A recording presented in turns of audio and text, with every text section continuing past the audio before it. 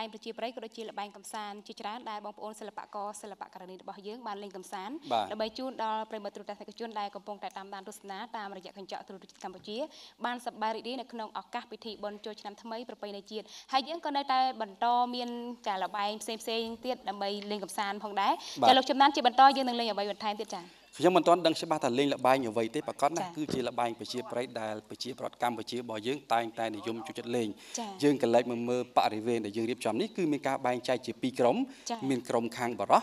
ហើយនិងមានក្រុមខាងនារីចា៎ហើយក្រុមទាំងពីរគឺមានវ័យមានទាំងយុវជនហើយនិងចា៎យុវចាស់ទាំងអស់គ្នាបាទអញ្ចឹងមកថាលបែងនេះចា៎គឺមិនមែនលេងតែសម្រាប់ក្មេងៗទេគឺក៏លេងគ្រប់វ័យសម្រាប់គ្រប់វ័យដែរចា៎យើងចង់ថាថាលបែងនេះគឺមានការលេងនីតិវិធីបែបណា យើងជួបជាមួយលោកគ្រូតែម្ដងចា៎បាទខ្ញុំបាទសូមជំរាបសួរលោកគ្រូបាទលោកគ្រូអញ្ជើញខាងនេះបាទអញ្ជើញខាងនេះតែម្ដងបាទអរគុណជួបលោកគ្រូបាទជាច្រើនវគ្គមកហើយគឺសុទ្ធសឹងតែជាការបង្ហាញជូននៅលបែងប្រជាប្រិយលោកគ្រូអាចមានប្រសាសន៍តិចបានទេតើនេះគឺជាលបែងអ្វីហើយមានការលេងយ៉ាងណាដែរបាទបាទអរគុណណាស់ដូចជាបានជួបកូនក្មួយញឹកញាប់ហ្នឹងថ្ងៃនេះបាទ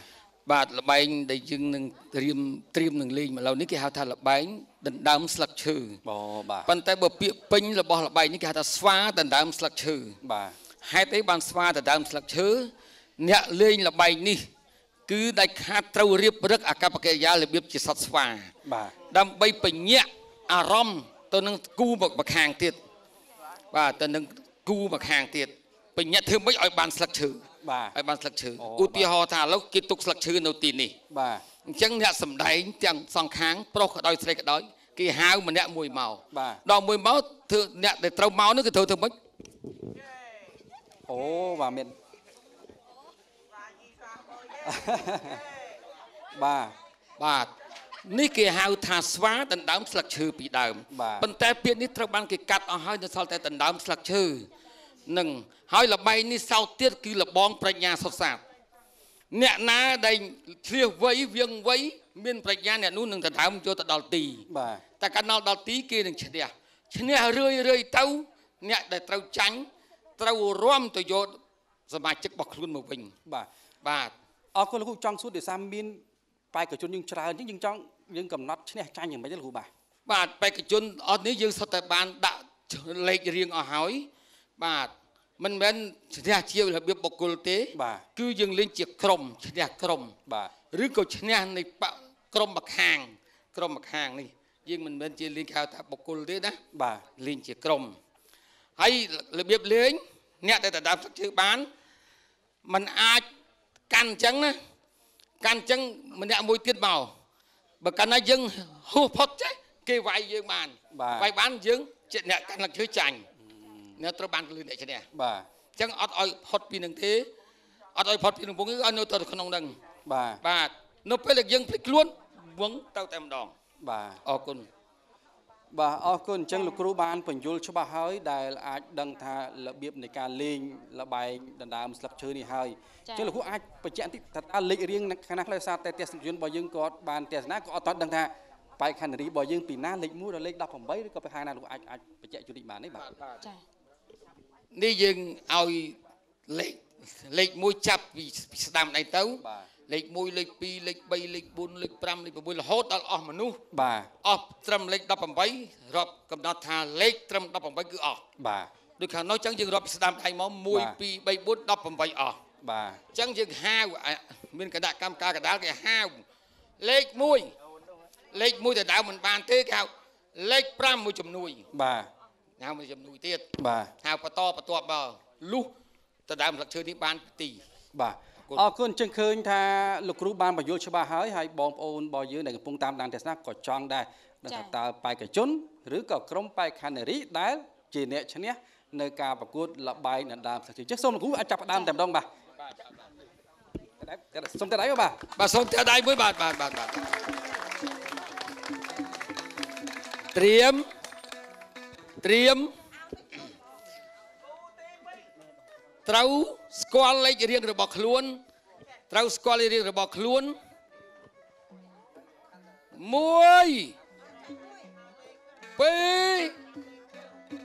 3លេខ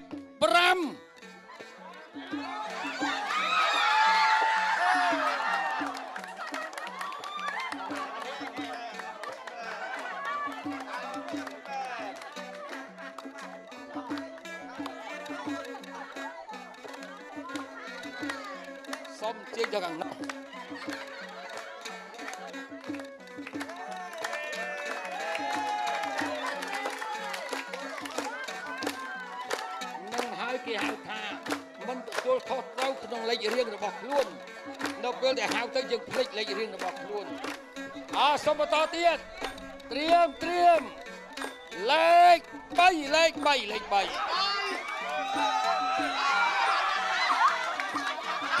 ត់ថាមកមួយវិញ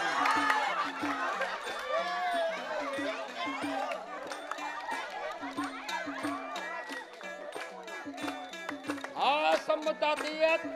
លេខ7លេខ7ឡើង ây da ây da ây da.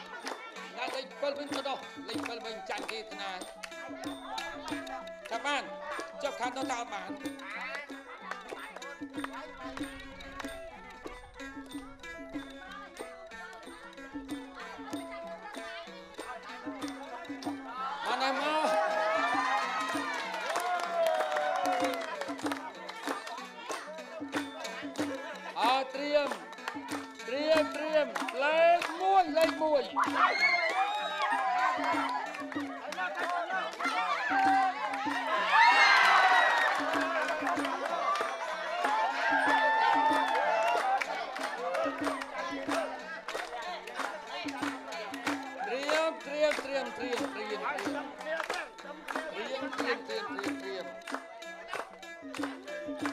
លេខ9លេខ9ត្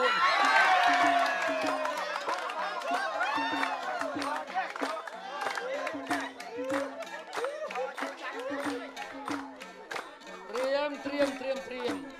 លេខ12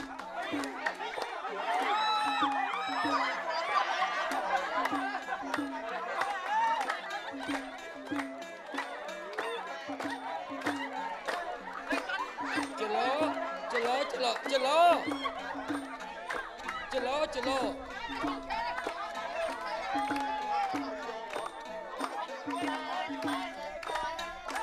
ចលោចលោចលោកោនកោនចលោកោនចលោចលោទៀតចលោទៀតចលោទៀតចលោទៀតអត់ចលោទៀតត្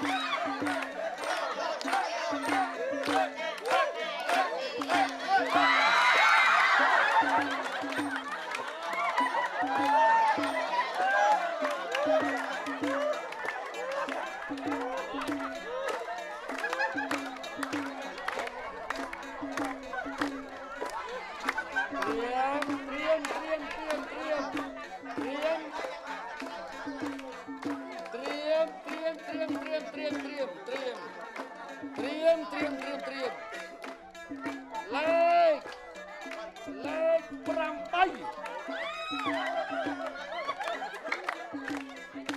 ីឡូគីឡូអីយ៉ាយ៉ាដាក់មកត្រូវម្ដាយហើយម្ដាយហើយចលោទៀតចលោទៀតចលោទៀតចលោទៀតចលោទៀតកំពុងតែស្វិតស្វាញណាទៀន កំពុងតែស្វិតស្វាញណាចលោទៀតអអសូមជំនួយលេខ18 18ជំនួយ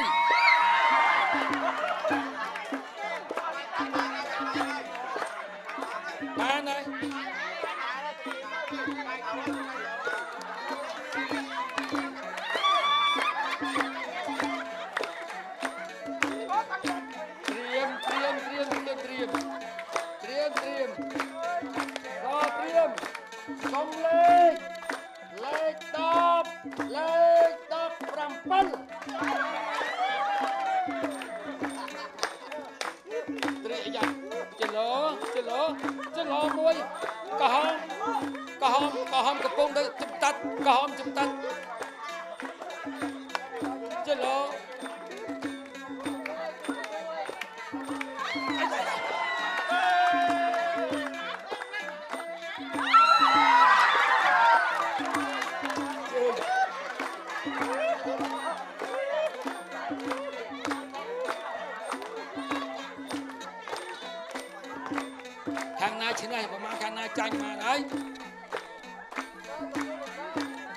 ត់ត្រៀម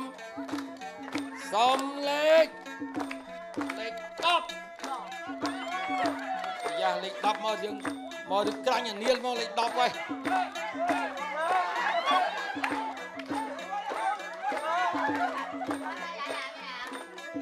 ល្បិចចលោ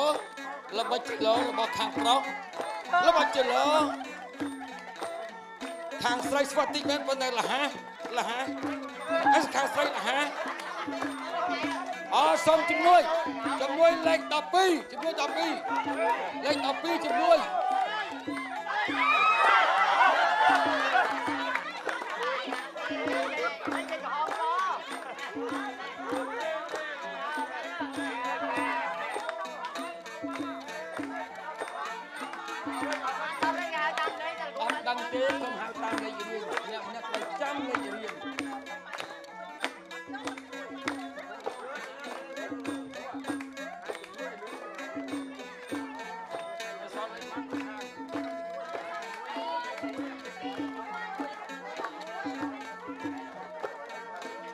ត់ត្រៀមត្រៀមត្រៀមត្រៀមលេខលេខ4លេខ4លេខ4អាយ៉ាអាយ៉ាគូនេះសក់គ្នាណាវើយតម្រុំ45គីឡូខាងគ្នាគូនេះសក់គ្នាណាអើអើប្រកបគ្នាអាយ៉ាចលោចលោទៀតចលោទៀតចលោទៀត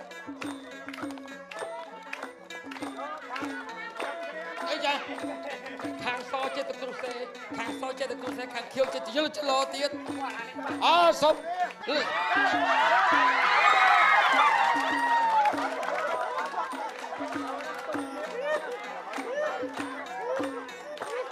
អូត្រៀមត្រៀមត្រៀមសុំលេខលេខលេខ2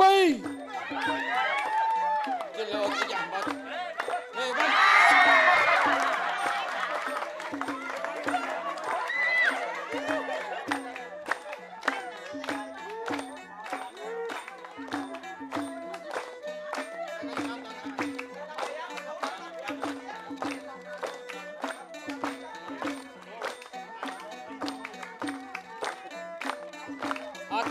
អើ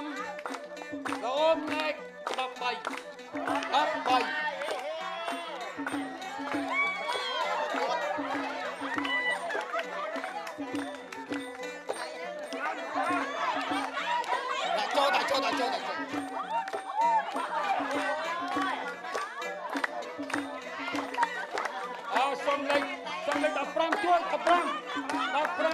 15ជួយ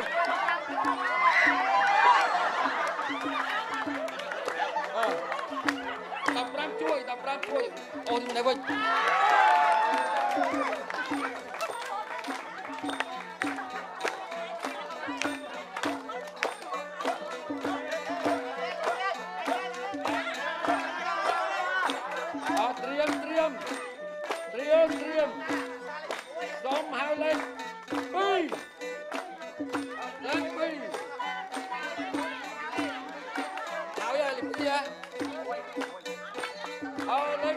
6លេខ6លេខ6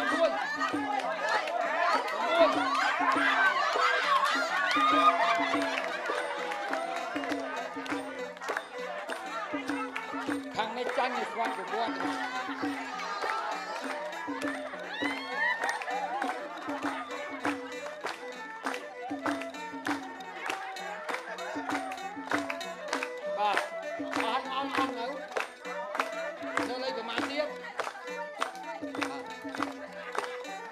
អត់លេខ11ត្រៀមលេខ11លេខ11ត្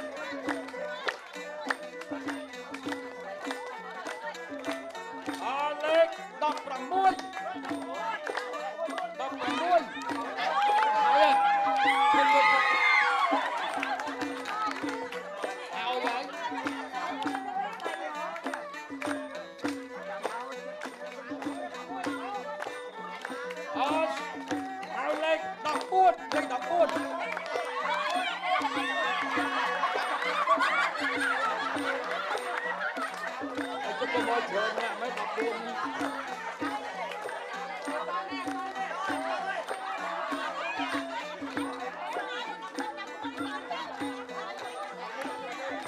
មើលអត់ចាំលេខយើងអត់ទេមកចុះ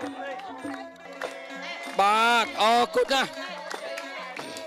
អរគុណណាស់សូមសម្លេងតាដៃខ្លាំងខ្លាំងមួយ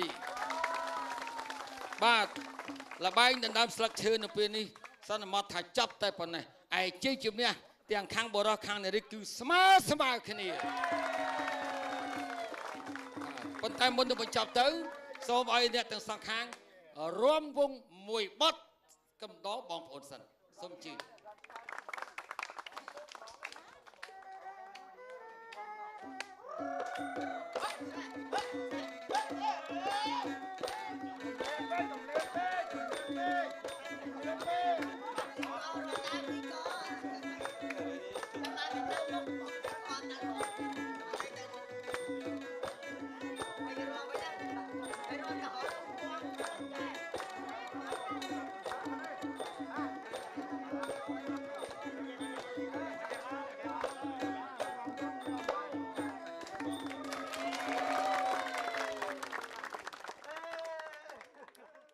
ពិតជាមានភាពស្វិតស្វាញនៅក្នុងការចា៎ដណ្ដើមមិនឲ្យបានស្លឹកឈើមកកាន់ទីរបស់ខ្លួនចា៎ហើយជាពិសេសក៏មានការរំលេងកំសាន្តចុងបញ្ចប់នៃកម្មវិធីដែរចាអ្វីដែលសំខាន់នៅក្នុងល្បែងនេះគឺភាពរហ័សរហួននិងប៉ិនប្រសប់យើងឃើញថាទាំងខាងបរោះនិងខាងនារីពួកគាត់គឺសិតតែពូកែដូចគ្នាហើយលទ្ធផលដូចដែលលោកគ្រូបានប្រកាសឲ្យមិញអញ្ចឹងគឺទាំងខាងបរោះនិងខាងនារីគឺលទ្ធផលគឺស្មើស្មើគ្នាតែម្ដងចាបាទអញ្ចឹងកុំភ្លេច បងប្អូនទូទស្សនិកជនដែលកំពុងតាមដានទស្សនានៅកម្មវិធីផ្សាយពិសេសរបស់ទូតកម្ពុជាចា៎នៅក្នុងឱកាសនៃពិធីបុណ្យចូលឆ្នាំថ្មីប្រពៃណីជាតិរបស់យើងយើងនឹងមានល្បែងកំសាន្តលេងបន្ថែមទៀតផងដែរអញ្ចឹងកុំទាន់អាបដោពោះតាណាជួបគ្នានៅវគ្គក្រោយជាបន្តទៀត